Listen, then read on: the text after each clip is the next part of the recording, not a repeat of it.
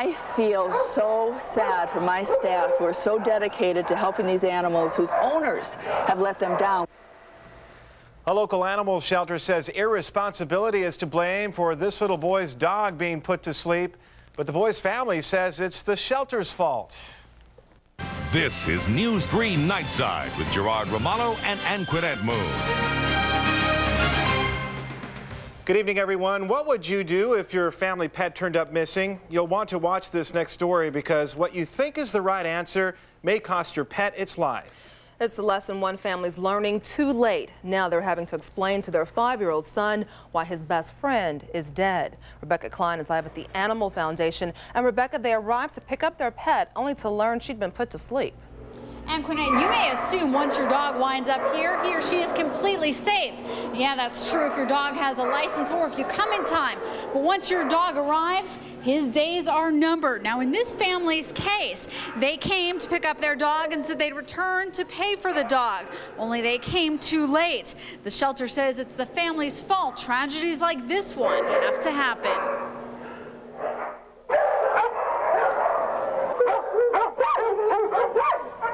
Each of their days here could be numbered. If no one comes, they're taken from the shelter and put to sleep. That became Sadie's fate. I was in tears. This is my boy's companion for the next 10 years of his life. You know, I was going to teach him about responsibility. Ask the Animal Foundation's president. You'll hear this lesson is about irresponsibility. If their pet gets lost, for God's sakes, come find it. So many of these animals are wondering, where are you? They let this dog down.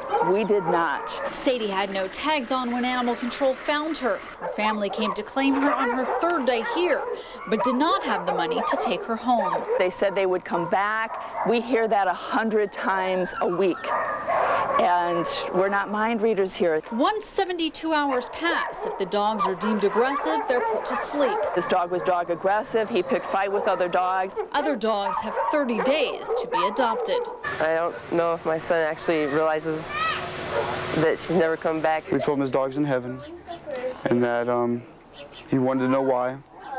And we told him because somebody evidently made a mistake. That someone, he says, is at the shelter. But does he really believe that's the whole story?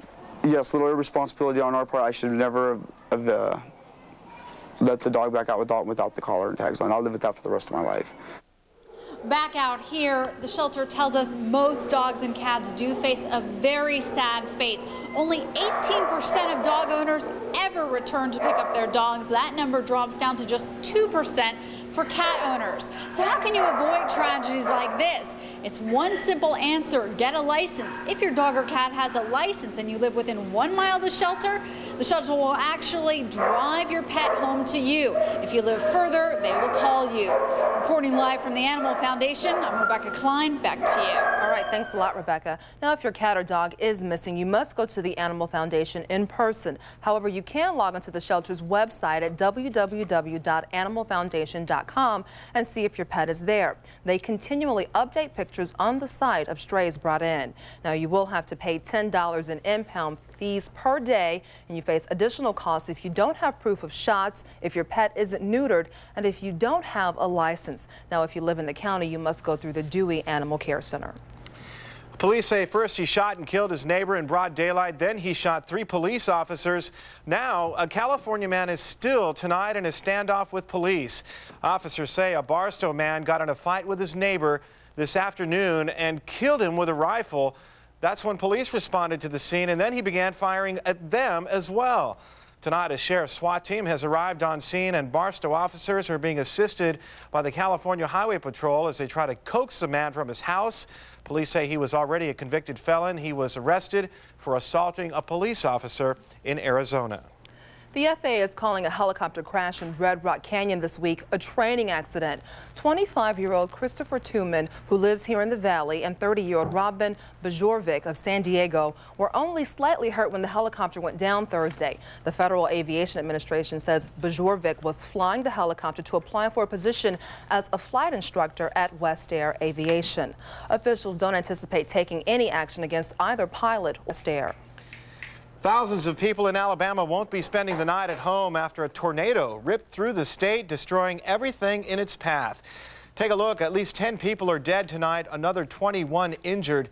This is the aftermath that you're looking at. A tornado tore through Tuscaloosa neighborhoods, causing mass destruction. Two area schools are now functioning as shelters. Well, the chances of a white Christmas look very strong for people across much of the northern and Midwest United States. Snow and ice are hitting Fayetteville, Arkansas, knocking out power and making travel very dangerous. Further north, blizzard-like conditions in Sioux Falls where winds are gusting 40 to 50 miles per hour. And in Des Moines, Iowa, it's not so much the snow, but bitter cold conditions. With the wind chill, it will feel like close to 50 degrees below zero. Skiers wanting to hit the slopes in Colorado today had their hopes dashed by a huge white wall, better known as an avalanche. The avalanche dumped over three feet of snow on a 60-foot section of Interstate 70. Crews worked through the morning, clearing the street and blasting the mountain where the avalanche happened just to make sure any unstable snow was knocked down. There won't be a special election in Las Vegas, at least not now. The recall effort against Michael McDonald has failed. Organizers hit the streets for about two months, going door to door, hoping to get 3,000 signatures. That's how many were needed to file for a recall. But yesterday, election workers told News 3 they didn't have enough valid names. Tonight, McDonald says he'll continue to concentrate his efforts on bettering the community. There are people that wanted to run for office that, uh, that all they have ulterior motives that really came out and they're the ones that are really behind this petition drive. So you have to really take in the characters of the people that were involved. Election workers tell us some people signed their name as many as 50 times, and names like Frank Sinatra and Michael Jordan also showed up on the petition. In the first major decision of his new administration, President-elect George W. Bush has announced his choice for Secretary of State, retired General Colin Powell. A groundbreaking move because if he's confirmed by the Senate, Powell will become the first African-American to ever hold that position. In a school gym in Crawford, Texas today, Bush introduced Powell as the man who would become a giant among statesmen. Powell is enormously popular with both Democrats and Republicans and may be that unifying force Bush needs after his battle for the presidency. Powell says he hopes his new job is an inspiration to others. I want to repeat it because I hope it will give inspiration to young African Americans coming along, but beyond that, all young Americans coming along. That no matter where you began in this society, with hard work and with dedication and with the opportunities that are presented by this society, uh, there are no limitations upon you. And as Bush and Powell work together on their futures, Bush continues to build his administration. He's expected to announce Condoleezza Rice as National Security Advisor on Sunday. The price of progress has neighbor disagreeing with neighbor tonight because of a new construction project. A project that was supposed to make things a bit quieter in the neighborhood, but has people sounding off instead. A sound wall is scheduled to go up as a part of a project to widen 95 for about nine miles from Rainbow Curve to Craig Road. The inspection will push the freeway even closer to homes in that area. Some people say it's going to ruin their view. Others say they'll give up the sights to keep out the sound of the ever-increasing traffic. We have no problem with expanding the highway. People are coming to Las Vegas, we need the highway. I have no problem with the highway. But I do not see any reason to put in a sound wall and lose my view. It get louder and louder, and more traffic comes there, it get louder. And, uh, but what, what can you do when you uh, sleeping up there? Construction on the sound wall is scheduled for sometime this spring. The government is throwing millions of your tax dollars at a problem that plagues our Valley school kids. An education budget passed by Congress will add $10 million to the fight to keep kids from dropping out of school. But as Kendall Tenney reports now, the problem could be masked behind our strong economy.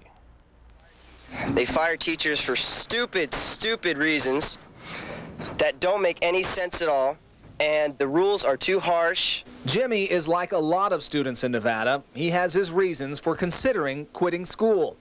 Nevada has a 17% dropout rate. That's almost double the national average and a 31% increase from 10 years ago. That's another thing that we could put on our record so everyone will get out of Nevada. Lots of like Jennifer Thomas and Juan Palmez tell News 3 it's tough to concentrate on school when you have the lure of a good paying casino salary. so easy to get a job around here that many people decide to work and make money than go get their education.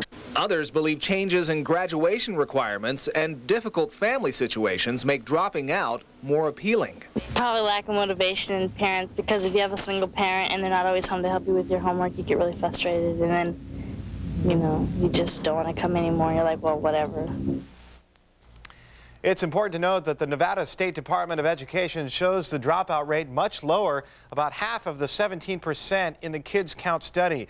That's because the district goes on raw numbers of people who actually drop out, while the Kids Count data looks at all the 16 to 19 year olds who are high school dropouts. Hmm. Well, you have a few more gray hairs. The years are creeping up on you, and now reading things isn't as easy as it used to be. The words begin to get fuzzy and sometimes they get crooked. Sound familiar? It could be more than just aging eyesight. Coming up on News 3 Nightside, a new procedure that could reverse that. Plus, above average temperatures sweep through the valley. We'll see if they're going to last coming up on News 3, where news comes first.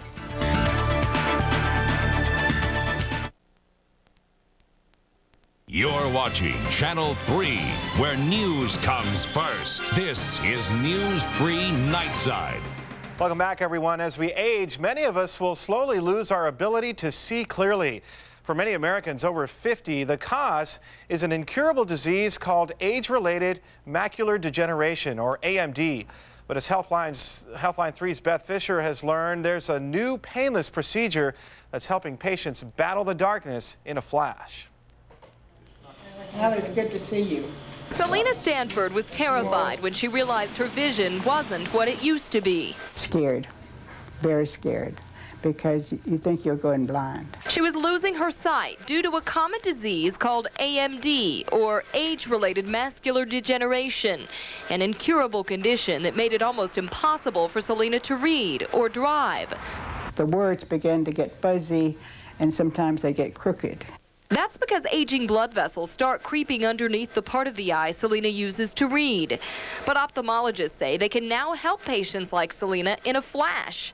A new treatment called photodynamic therapy uses a light-activated drug and special laser to zap the bad blood vessels, sealing them with heat. This procedure offers a real hope for people with macular degeneration to maintain the vision that they have and hopefully slow down or even arrest their rate of vision loss. And for patients like Selena, that may give her a new look on life. To me, it's a wonder treatment. Marvelous that uh, someone has discovered this.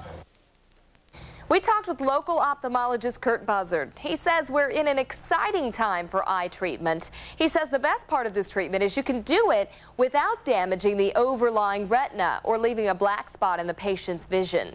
Back to you. Thank you, Beth. Doctors caution that patients must stay out of direct sunlight for 48 hours after the procedure. The light-activated drug can cause third-degree burns to any part of the body that is exposed. So did you get out and enjoy the weather today? Got out a little bit this morning, probably not as much as I should have, but uh, boy, the weather was just right for a good run or a good bike ride. It's a little crisp. How about you? I think. I, well, no, I, I, didn't get out at all. what time did you get up is a better question. Whatever. um, but let's go ahead and take a look at our current conditions right now. Let's, Looking, shall we? Ah, let's see. Temperature right now is 44 degrees, 27% humidity. The wind is out of the west at 9 miles an hour, and the barometer is steady at 30.32. And Gina Giacinto has the rest of your forecast. Thanks, guys. Now let's check out our December watering times. It's recommended two days a week two times a day at four minutes each watering time in between in the mornings 9 to 11 o'clock. And let's take a picture of our satellite right now, looking at the southwest. High pressure over the southwestern states that gave us our, our dry conditions and above normal temperatures for today. That's nothing like what's going on in the rest of the United States. Our infrared shows severe weather reported in the south and central Georgia and Alabama uh, region with uh, tornado watches. They did have a tornado in Alabama today, so Hoping those people out there are doing all right. And let's check out our historical highs and lows for today. Nothing record breaking. A high at 61, low at 39. And the sun's going to be coming up tomorrow at 646. Going to be beautiful outside. Looking at 63 degrees for our high tomorrow. It's going to be mostly sunny with the UV at 2 and keep watch of those winds because they are going to be picking up in the, in the um, afternoon area. And 8 o'clock, 46 degrees. By midnight, 41, and the sun coming up at 37 degrees. And now let's take a look at Lake Mead tomorrow. A low 46 and a high of 70 is going to be great if you want to go fishing or boating, whatever your plans are. Out of the mountain tomorrow, a high of 48. Make sure you put on that sunscreen. Even though it's going to be cold, we can get some sunburn still. Five day forecast high in the 50s to mid 60s until Wednesday and then cooling off again on Thursday. And we're going to go right back to you guys. Thank you, Gina. Sunscreen in December. Uh, those of you holding out for a white Christmas, don't, don't out. don't hold your breath, I guess. Mount Charleston, though. It's nice up That's there. true. Take the drive. It's worth it. Still ahead on News 3, a love story with all the bells and whistles. Except these originated from a casino. We'll explain coming up on News 3, where news comes first.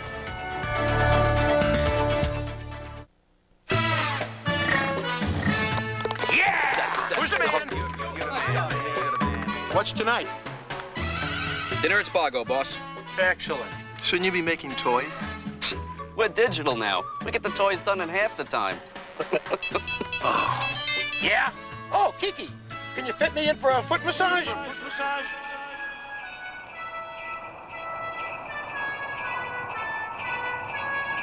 Shopping,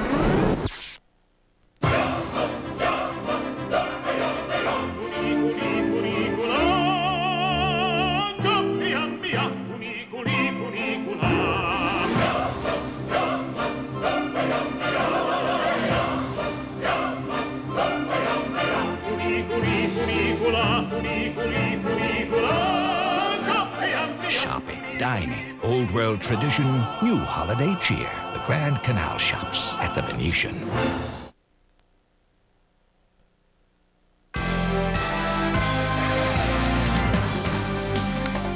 A love of casinos brought them there, and tonight a Las Vegas couple brought a little love back to the casino. I now pronounce you Clay and Tess, husband and wife. You may kiss your bride. Clay Kidd and his new wife, Terry, broke in the brand new wedding chapels at the Texas Station Casino tonight. The couple met there two years ago and have planned to trade vows there once they heard the chapel was being built. And not a bad ceremony. About 150 people attended. Good for them. While one couple celebrates a new beginning, another woman celebrates a historic mark.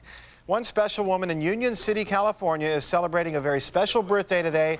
Sylvester Wilson is 108 years. Believe it or not, she still has a sound mind and says her biggest love, aside from her daughter, is, get this, mashed potatoes and fried chicken. She says that her secrets for staying young, uh, along with the mashed potatoes and fried chicken, is her church and her faith that keeps her young at heart. She's got a little rhythm, too. Good for her. Oh, yeah. Lots of hoops action at uh, UNLV's Thomas and Mack Center tonight. And News 3's Rick Strasser is in the thick of it. Rick? Tell you what, guys, it was an exciting one out here. I'll tell you how UNLV did in the beginning of the Max Good era here at UNLV against 17th ranked Cincinnati. That's coming up next in sports on News 3, where news comes first.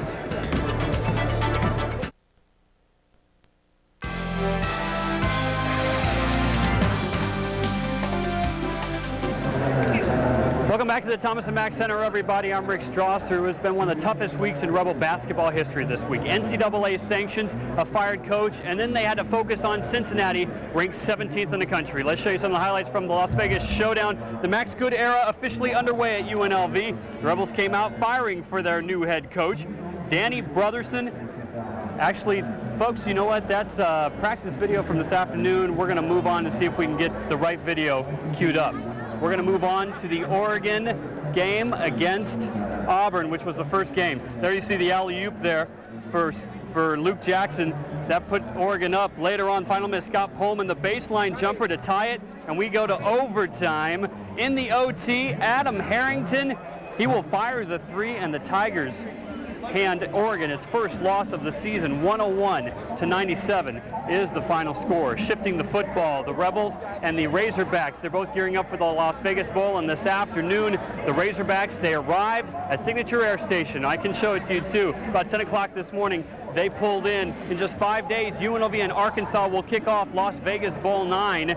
This morning, most of the Razorbacks arrived. The coaches allowed the players to come on their own, but they had to be in town by 5 o'clock, so they are all here.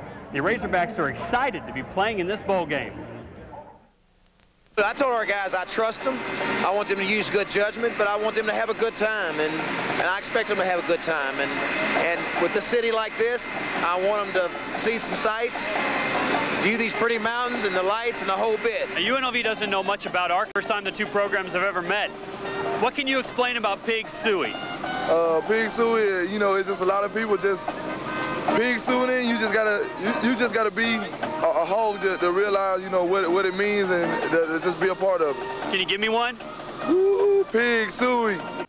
We're hearing plenty of that in the week to come. It's final two weeks of the regular season in the NFL, which usually means a couple Saturday games. This afternoon, the Raiders could ill avoid a loss with Denver right on their heels if they want to win the AFC West. They played Seattle this afternoon. Let's go up to Washington. A soggy day out in Husky land. They're playing where the University of Washington plays. Oakland down 7-0. Rich Gannon has all sorts of time. Finds Andre Rison in the back of the end zone. 7-7 is the score late in the game. Raiders up 24-19. Ricky Watters gets through the line and is off to the races. Charles Woodson will chop the ball out of his hands, and Marquez Pope will fall on the ball on the one, but the ref say he slid in the end zone and call a safety. Instead of the Raiders running out the clock, the Seahawks score a touchdown in the final minute and go on to win 27 to 24. The other game, Pittsburgh and Washington in the final game to ever be played at Three River Stadium. The new stadium is 65 yards away. Pittsburgh up 10-3 in the second quarter. Richard Huntley on the draw play, scores from three yards out. Pittsburgh leads later on. Huntley, he was at it again. This time he gets to the sideline, uses his blockers, and bulls his way in from 30 yards out. Steelers win. The Redskins won't be in the playoffs. Pittsburgh wins 24 to 3. Now, I did tell you that there was a game here tonight, right? I promise you, UNLV played Cincinnati. Let's look at those highlights. The Max Good era in effect tonight. Danny Brotherson underneath for two. That was 9 to 1 right then. Next time down for the Rebels. Trevor Diggs for three. 12 to 1 at that point. You saw Cass to Danny. Now here's Danny to Cass. Kambala with the jam. 14 to 4 at that point. But the Bearcats went on a run. Kenny Satterfield inside for two, gives Cincy his first lead, and I can tell you they went on to win this one 90 to 72 was the final score. So they fall to 0-1 in the Max Good era, and that's going to do it for me. Reporting live from the Thomas Mack Center, I'm Rick Strasser. Back to you. Okay, Rick, tough break for the Rebels there, but uh, we'll keep rooting for them. They'll be doing much better next time, I'm oh, sure. yeah. All right, well, thank you so much for joining us for News 3 Nightside. We'll see you back here tomorrow. Have a great rest of the night. Good night.